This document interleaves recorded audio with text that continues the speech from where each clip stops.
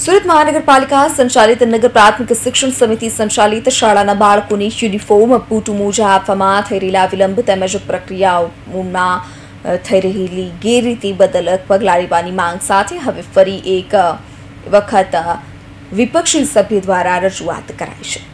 સુરત મહાનગરપાલિકા સંચાલિત નગર પ્રાથમિક શિક્ષણ સમિતિ સંચાલિત શાળામાં બાળકોને હજુ સુધી યુનિફોર્મ, બૂટ મોજા અપાયા નથી. જેને લઈ અગાઉની તમામ સામાન્ય સભામાં તેમજ એ સિવાય પણ અનેક વખત લેખિત અને મૌખિક રીતે રજૂઆત દ્વારા વિપક્ષ આપના સભ્ય રાકેશ હિરપરાએ રજૂઆત કરી હતી.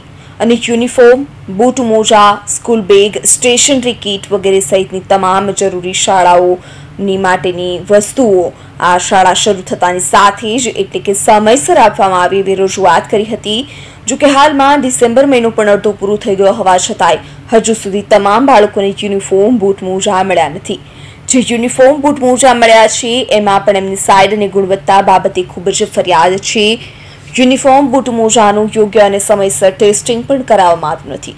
આ ઉપરાંત આઠ આટલી એજન્સીને રિપીટ ઓર્ડર અપાયો હોય, જે બહુ ગંભીર બાબત છે.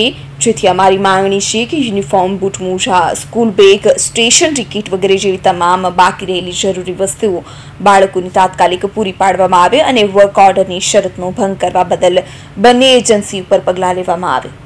આજરોજ ઓગણીસ ડિસેમ્બરના રોજ આમ આદમી પાર્ટીના તમામ કાર્યકર્તાઓ અને તમામ નગરસેવક મિત્રોએ, મિત્રો નગર પ્રાથમિક શિક્ષણ સમિતિના અધ્યક્ષને રજૂઆત કરવા માટે અત્રે એકત્રિત થયા હતા શિક્ષણ સમિતિની કચેરી ખાતે. પણ એમ હંમેશાની આદત મુજબ અધ્યક્ષ છે એ પોતાની કચેરી છોડી અને તાળું મારીને ભાગી ગયા.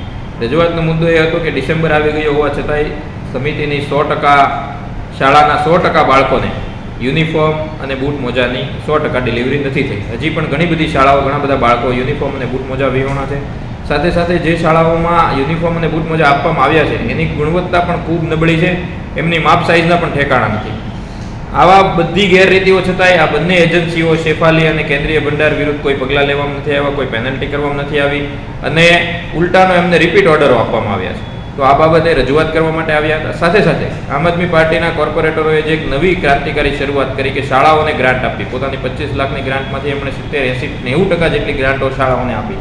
એ ગ્રાન્ટ આપી દીધી, ફાળવી દીધી લેટરો કરી દીધા, એને નવ મહિના, દસ મહિના, એક એક વર્ષ જેટલો સમય થઈ ગયો હોવા છતાંય એ સુવિધાઓ હજી સુધી બાળકોને મળી નથી. એટલે સ્માર્ટ બોર્ડ હોય પ્રોજેક્ટર હોય લેપટોપ છે, એવી ઘણી બધી ભૌતિક સુવિધાઓ એ ગ્રાન્ટમાંથી મળવાની હતી, જે હજુ સુધી મળી નથી, બાળકો સુવિધાઓ વિહોણા છે.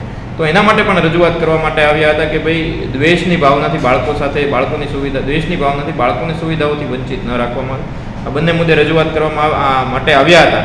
પણ મેં જેમ કહ્યું એમ સમિતિ અધ્યક્ષ તાળું મારીને ભાગી ગયા. જે બતાવે છે કે એમના મનમાં કંઈ પાપ છે, ચોરી કરેલી છે, એટલા માટે જવાબ નથી આપી શકતા. પણ આ તમામ મુદ્દે સારા શિક્ષણ માટે, સારી શૈક્ષણિક સુવિધાઓ માટે આમ આદમી પાર્ટી સતત લડતી રહેશે આભાર.